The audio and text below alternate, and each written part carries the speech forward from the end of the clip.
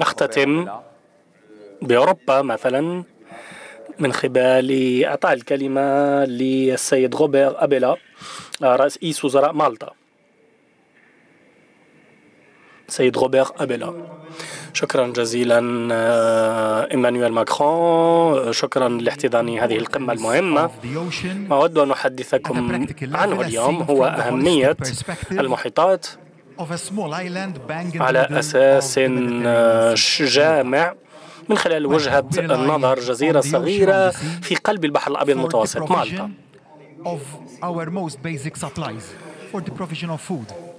نحن نعول على البحار والمحيطات الأغذية مثلا التي تصلنا في جلها تقريبا نستوردها من صقلية وكذلك من الوقود والغاز.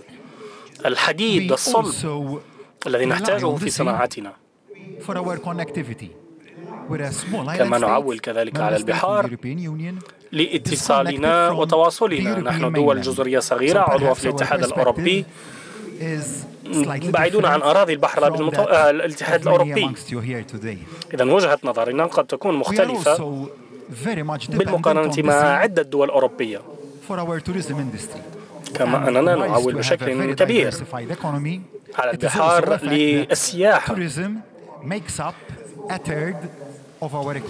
السياحة تشكل وتجسد ثلث من اقتصادنا. إذا السياحة وكل الخدمات المرتبطة بها مثلا السفن السياحية نعول عليها بشكل كبير. شواطئنا الجميلة كذلك هي أول معلم يأتي إليه السياح. للاستمتاع بجزرنا والاستجمام فيها. وهناك كذلك صناعة المصايد. إذا الصيد مصايد الأسماك.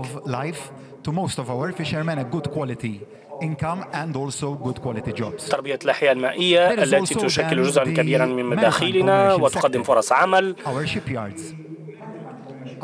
وهناك كذلك القطاع البحري التجاري ورشات بناء السفن.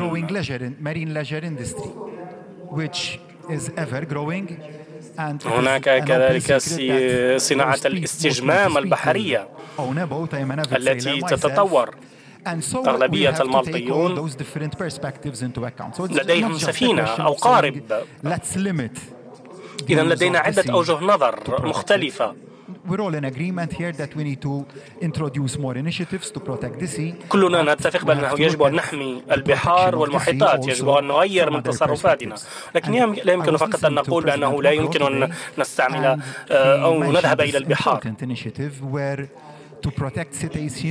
السيد ماكرون أشار إلى مبادرة مهمة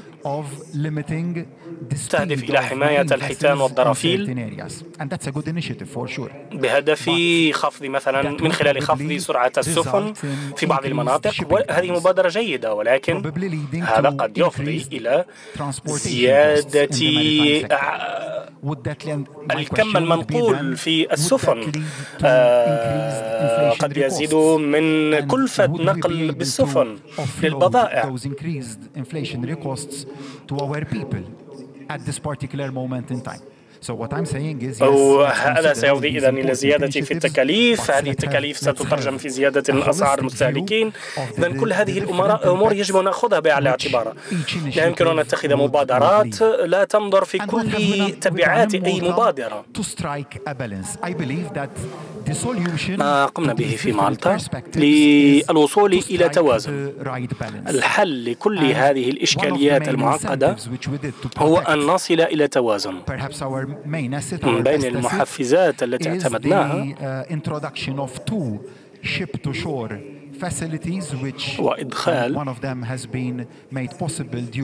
مرفقين للنقل بين السفن والساحل بفضل دعم الاتحاد الأوروبي. هذه المرافق ستمكن السفن. In harbor allowing them to switch off these engines and thus reducing emissions. But عدم استعمال الوقود في الموانئ واللجوء إلى طاقة كهربائية اعتبرنا هذه المبادرة والمحفزات And that is the reality which we're facing. So yes, Nikos mentioned earlier the electrification and the propulsion هذا يؤدي إلى نتائج جيدة ولكن هذا لا يحدد يقضي على الإشكالية. فهذه السفن ما زالت تستعمل وقودا ملوثا في أعالي البحار. السؤال المطروح هو لماذا السفن لحد الآن ما زالت تستعمل هذا الوقود الملوث في أعالي البحار؟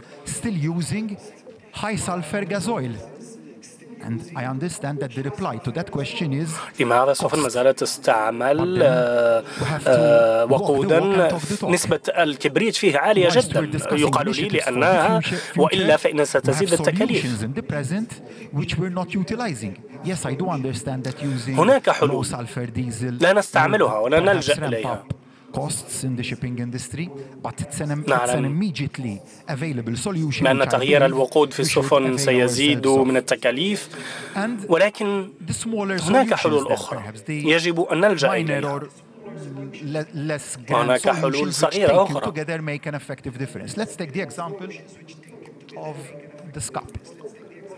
الناجعة مثلا. A few months ago, هذا الكأس. منذ أشهر تقريبا منذ أشهر كان هذا الكأس ربما سينتج ببلاستيك يستعمل بمرة واحدة ولا يمكن تدويره. نحن في مالطا آه، منعنا استيراد البلاستيك الذي لا يستعمل إلا مرة واحدة. ثم قمنا بمنع بيع هذا البلاستيك. إذا منعنا بداية استيراده ثم استعماله. هذه خطوة قد تبدو صغيرة. ولحد الآن ما زال هناك للأسف تلوث بلاستيكي. ونحن نقوم باتخاذ هذه الإجراءات لمنع هذا التلوث. إذا ندائي نهاية. لكم هو يجب أن نصل إلى توازن. نعم فلنناقش مبادرات تمكننا من تحسين جودة البحار وبيئتنا وجودة الهواء. ولكن يجب أن ننظر في كل مبادرة بشكل جامع شامل مع عدم تجاهل الواقع خصوصية كل بلد. وخصوصيات الدول الجزرية الصغيرة النامية التي تواجه واقعا مختلفا عن باقي البلدان والتي تعول على البحار بشكل كبير لاقتصادها لرفاهها. إن هذا التوازن يمكن أن نصل إليه شرط أن نكون طموحين في أهدافنا وأن نقبل كذلك بأن حماية بيئتنا هو من بين أكبر التحديات التي نواجهها ولكن تحد بالطبع يمكن أن ننجح فيه شكرا. Merci beaucoup. Euh,